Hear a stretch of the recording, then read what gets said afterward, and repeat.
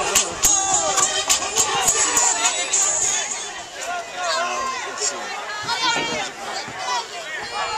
Supposed to be Mark